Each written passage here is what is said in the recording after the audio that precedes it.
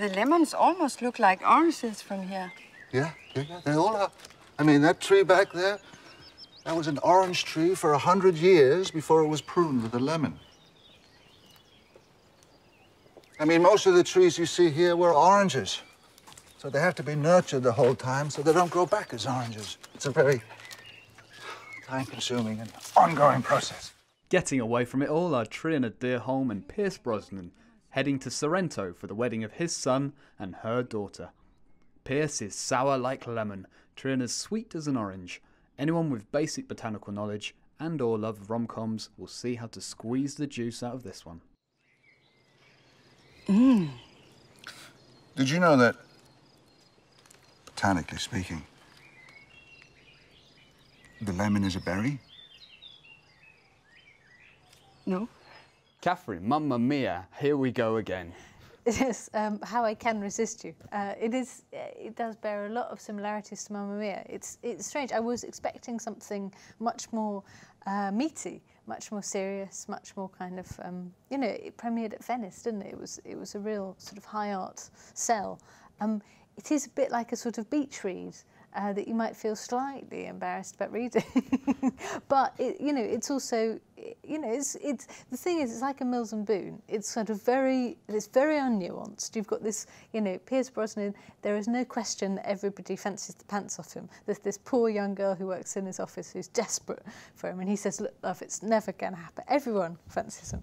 Um, it's so kind of cliche. You know, it's so cliched. The other guy, her husband, who's cheating on her, is cheating on her with a kind of crazy dolly bird. He's unbelievably unappealing. You know, there's no question what should be happening here. She's unbelievably upbeat, estrangedy, sort of every woman yet kind of freaky, freaky happy heroine.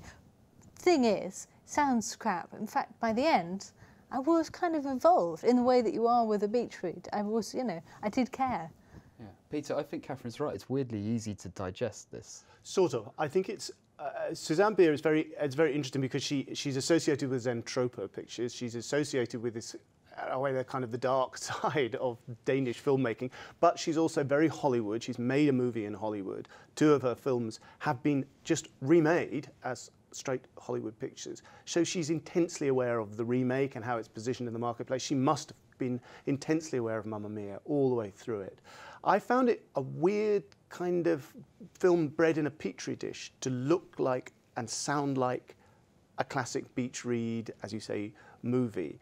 Uh, there is a weird nuance at the end. What happens to the younger generation's love? There is a something kind of dark happens there, but slightly bafflingly unmotivated. We're not quite sure why what happens happens, to be quite honest with you. And I, I like you, I was expecting a big reveal, which doesn't quite happen. There's an almost kind of Festen moment when there's a kind of, oh my God, moment of, of, of awfulness. I thought it was, it was like a copy, a, a very accomplished copy of a movie wh which really has its heart in that sort of thing. I mean, when they cranked up uh, Dean Martin at the beginning with all those touristy shots of uh, the Amalfi Coast and Sorrento, I thought it was just a weird uh, pastiche of an autumn year's romantic movie, done with technical accomplishment, but weirdly unconvincing. Michael, Michael, you can't be both worthless and unambitious. It's his seventh birthday. He won't even remember you being there. Just buy him a card and get on the plane. Are we clear? Good. Thank you.